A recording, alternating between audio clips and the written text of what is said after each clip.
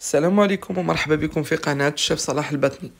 قبل ما نبداو لا فيديو تاعنا تاع النهار اليوم ما تنسوش تصليو وتسلموا على رسول الله أفضل الصلوات. اليوم إن شاء الله راح نشارك معكم كراتان بالبطاطا والدجاج يجي بزاف بنين ورافقته بواحد المرق اللي راح يخليه يجي مشمخ من الداخل وأيضا راح يعطيه ذوق مختلف على لي كراتان اللي مالفين نخدموهم. اذا هذه الوصفة كما قلت لكم سهلة وسريعة وبزاف بنينة. خليكم ذوك مع مع المقادير. نبداو على بركة الله أول خطوة. نجيبو طنجرة سواء طنجرة ضغط ولا طنجرة عادية نديرو فيها شوية زيت نخليو الزيت تاعنا تسخن ومن بعد نجيبو أطراف الدجاج. أنا استعملت لهنا آه، صدر الدجاج نقليو مليح هذاك الدجاج حتى نحمروه يعني حتى يتغير اللون نتاع الدجاج تاعنا ويصبح اللون تاعو أحمر. كما كنتم تشوفوا أنا راني نقلب فيه على الأوجه. بطبيعة الحال على على نار متوسطة حوالي عشرين دقيقة وأنا نقلي في هذاك الدجاج.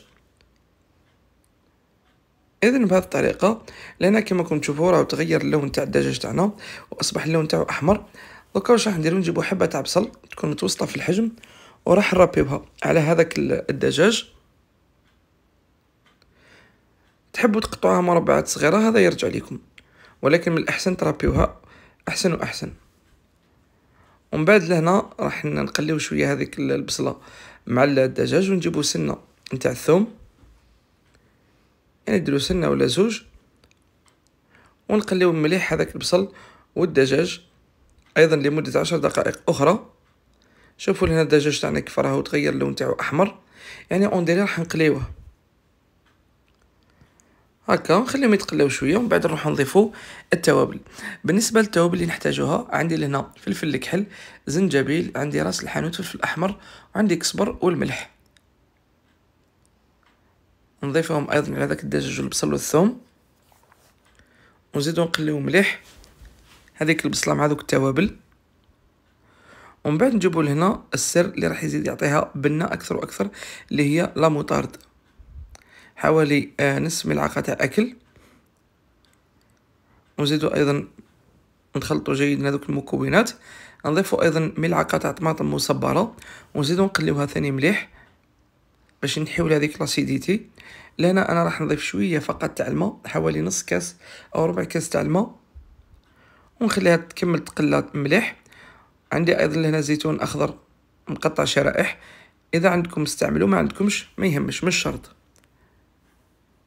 ونخليها تقلى لمدة عشرين دقيقة. ولهنا كي نشوفو شربت هذوك السوائل نجيو لهنا نمرقو. تمرقوا بالماء سخون ولا بارد كيما تحبوا لأنه الدجاج ما تخافوش. المهم لازم تغمروا هذاك الدجاج حتى نغطيو هذاك الدجاج بالماء. هكا وراح نغطي عليها ونخليها على نار قليلة حتى يطيب لنا هذاك الدجاج والزيتون والمرق تاعنا يبدأ يخثر نطفي عليها النار. لهنا كما راكم تشوفوا بعد ما المرق تاعنا خثر ونقص والدجاج تاعنا أيضا راهو طايب دوكا واش راح نديرو؟ راح نحيو هذاك الدجاج نحطوه في صحن على جهة ونخليوه يبرد باش من بعد راح نفتوه.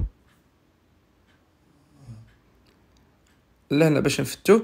السر تاع هذا الكراتان تاع اليوم هو هذا المرق الأحمر هو اللي راح يعطيه بنة ويخليه يجي مشمخ.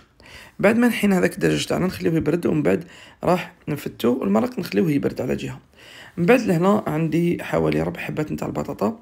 المهم لهنا بالنسبة للبطاطا ترجع الكمية تاعها حسب عدد أفراد العائله بعد ما قشرناها وغسلناها نقطعوها اون بتي مربعات صغيرة ومن بعد نجيبو مقلة نديرو فيها شوية زيت ونحطو البطاطا تاعنا بطبيعة الحال بعد ما ضفنا لها الملح ونخليوها طيب طيبت البطاطا تاعي على ثلاث دفعات ومن بعد لهنا كما كنت تشوفوا الدجاج هذاك راني فتتو بهذه الطريقة. هكا. ومن بعد لهنا راح نروحو نخدمو المرق اللي راح نطيبو فيه الكراتان تاعنا المرق هذاك اللي قلت لكم خبيتو فيه الزيتون وكلش. خليته برد باش من بعد كي نضيف له البيض ما يطيبلناش هذاك البيض. وضفت له هنا ثلاث حبات نتاع البيض. هكا.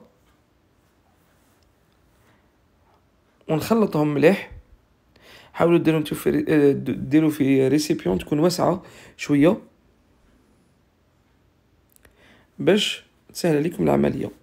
من بعد لهنا جبت فرماج آه طارتيليس هذا من مجموعة باتنا cheese اللي قلت لكم مخدوم بثلاثة أجبان مخدوم بالجودا والشيدار والجروير وبزاف بنين.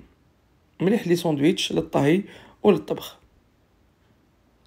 ندير أيضا زوج ملاعق يكونوا كبار في هذيك la sauce ونخلط مليح تحبوا ديروا بال bras mixeur تحبوا بالفرشيطة كيما أنا كي حالتي normal ما يهمش. لأنه الفرماج هذا من بعد راهو كي نطيبوا الكراتان تاعنا راح يطيبوا من بعد لهنا واش راح نديرو؟ هذاك المرق تاعنا بعد ما خلطناه نجيو لهنا نضيفو المرق على هذاك الدجاج والبطاطا.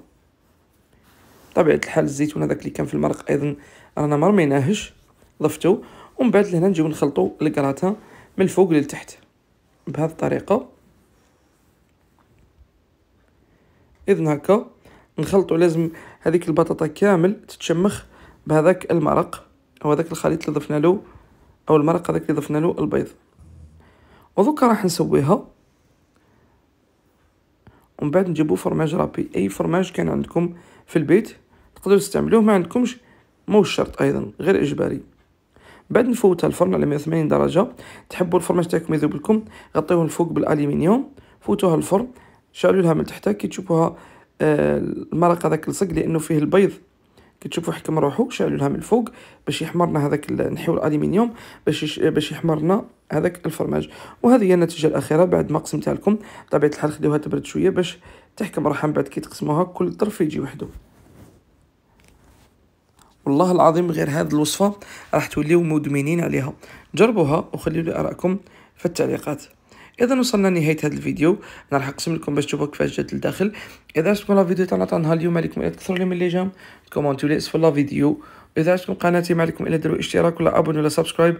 تفعلوا زر الجرس باش يوصلكم كل جديد. دائما قال نقول لكم شهيتكم بالصحة. ما تنساوش دعموني في الإنستغرام اللي كنتم تشوفوا في أسفل الشاشة. تلقاو فيه بزاف وصفات. تهلاو في رواحكم وسلام.